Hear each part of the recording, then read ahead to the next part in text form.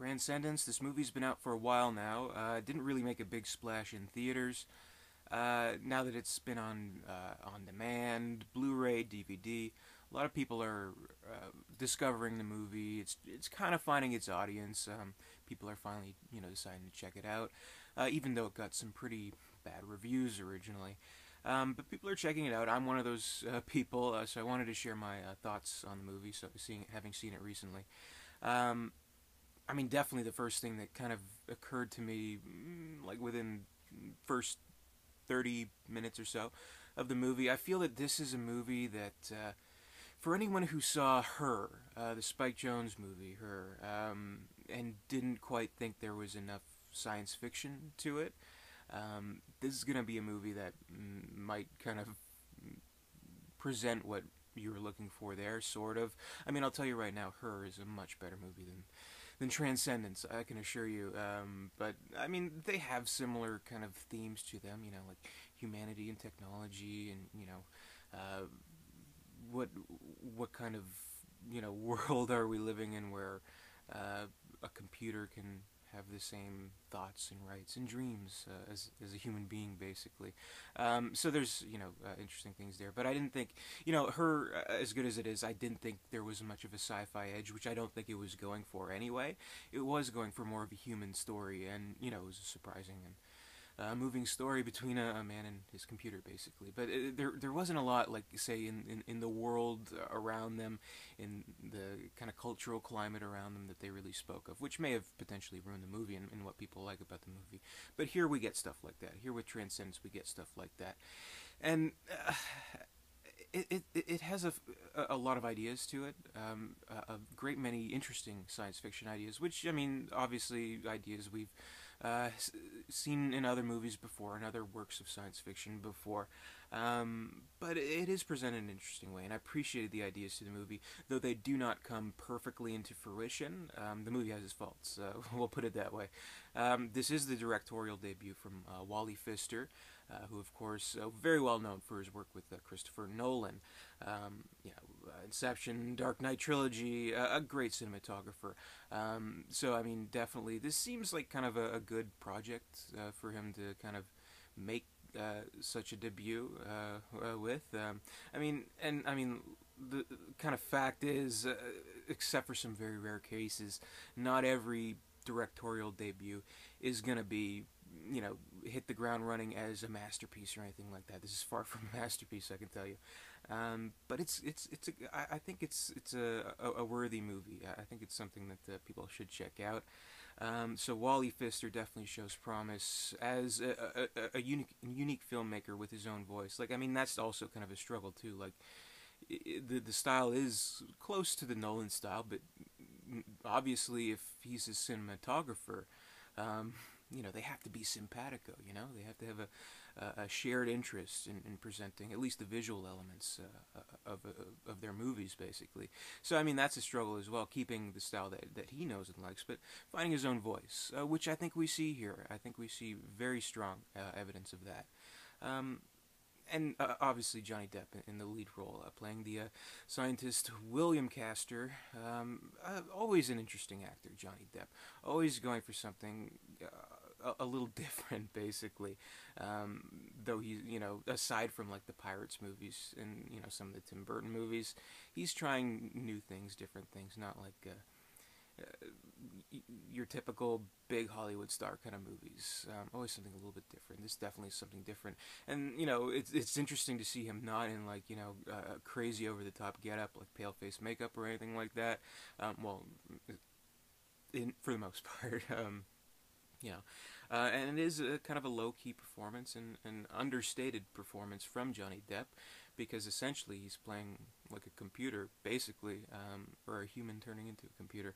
Uh, aside from her, I'd, I'd even kind of share some comparison. Uh, with The Fly. Um, so it is kind of like a, a, you know Cronenberg's The Fly specifically. It's kind of like a love story where the the male hero of this love story slowly turning into something um, that uh, is lesser and lesser of uh, you know what uh, his love interest knows, like less of the man uh, that she thought he was, uh, slowly turning into something else. Uh, Fly's case, he's turned into a fucking fly. Um, this movie, he's, you know, turning into a computer program. And, and those are the interesting ideas of the movie. Um, like, for one thing, it does show, like, the, the uh, uh, political and economical, uh, cultural uh, climate uh, of this certain universe. Basically, I mean, the plot, to keep it as brief as possible, this scientist, he's, you know, working on pro- projects that... Um, while they don't sp- specifically show the particulars um, and, and, the practical elements of them, uh, has good intentions, um, trying to see, trying to create a link uh, between uh, humanity, technology, to help fight disease, help fight, uh, you know, uh, any kind of uh, de- debilitating elements of the human condition. Um, we're all just, you know, we're we're natural things. We're decaying things. What if technology could, you know, kind of save that or at least uh, delay it, um, which would be nice. Um, and and there's this whole kind of underground movement where people are so totally against uh, technology and and the grasp it's had over our lives, which I mean. It's pretty on the nose. I mean, obviously, you know, I was on their iPhones, you know, whatever, blah blah blah, um, and that's something that's sort of was addressed with her too, but this one is way more, you know, over the top and obvious, but still interesting. So there are these like underground movements where, uh, basically they're like terrorist groups, for lack of a better word, where they're you know trying to stop these types of projects. They're unplugging themselves, um, staying away from technology. Technology has failed us. Let's restart from zero. Let's be human again. Um, basically, and they are willing to do that at any cost uh, with terrorist actions. Um, so basically, um, he is uh, more or less assassinated, but in like with a he's shot with a bullet. The bullet's poison. Bullet slowly kills him. Basically, so he's uh, transferring his memories, his persona, basically, into a computer. Basically, that's basically it. I mean, it's a little more complicated than that, but that's basically it. Um, so it does raise interesting questions there, like the the moral. Uh, uh, quandary of that. Like, is it right to do that? And you know, and even if that's aside, it does bring kind of interesting questions like, uh, what, you know, with with death and, and say moving on into uh, in this case, a computer program. Uh, if it's not a computer program, what if it's reincarnation? What if it's heaven? whatever, you, whatever we believe what happens next. How, uh, wh- what constitutes the soul? Where does it go? Um, how tangible is it? I mean, in this case, I mean, he transfers him, himself into a computer, and his wife, uh, played by Rebecca Hall, I mean, she, she's like, that's him. That's, that's obviously him. Um, but anyway, he's following through um, with his uh, research, with his, uh, you know, uh, goal uh, to to achieve uh, transcendence and help humanity. but always, you know, the, the worst monstrosities committed by man always start with good intentions, don't they? And and he kind of like sets off aside on himself, uh, br- brings her along, obviously, um, and is helping people. He has this like little own like a desert community uh, that that he starts where he is kind of. Uh, progressing uh, with this technology and, and it's reaching a point where it gets very very scary um, and so that was interesting too like that he is successful in, in what he's trying to do and and how he can uh, you know re- reassemble like a, a, a like a, a, a, severed limb, for example, or whatever, or a, a cornea, or anything wrong. He, he basically create life uh, through technology, through his thoughts, which is interesting. Um, and it's like another weird comparison, but like you see this whole whole uh, separate community here based off technology, relying on technology, thriving on technology. You, can almost see that as like the the exact polar opposite of you know that. Uh, uh, scene in uh, Easy Rider, uh, where you know uh, Dennis Hopper, Peter Fonda, they go to that commune, and you know it's like the the tail end of the '60s, and you see all the hippies like, yeah, man, we're we're, we're like you know we're we're thriving on our own, we're planting our own food, man, and you know uh, Fonda's just like, fuck, you what are they doing here? They failed. It's like here, here's here's here's a radish, but you, you, basically, it's like the polar opposite of that. Um, so that's interesting, like how it's like almost like a, a, a new age where technology, you know, would uh, reach such levels of very, you know, scary potential. Um, so there's that. Um, and you know you have the side plot. Uh, Paul Bettany is also in the movie. Morgan Freeman's in the movie. Cillian Murphy also in the movie. Um, they all kind of have their subplot. Cillian Murphy is like a cop investigating uh, uh, the uh, the militia or terrorist group or, or, whoever, the, the unplugged basically, who are creating terrorist actions. Morgan Freeman is uh, an old colleague of uh, of uh, Will's, um, and yeah, Paul Bettany also a colleague. he's kind of he's kidnapped by by the terrorist group, but then starts to sort of empathize with them, as does Morgan Freeman's character as does Cillian Murphy's character when they see what uh, what William is is doing and, and the very scary uh, uh, possibilities of, of his power, um, basically.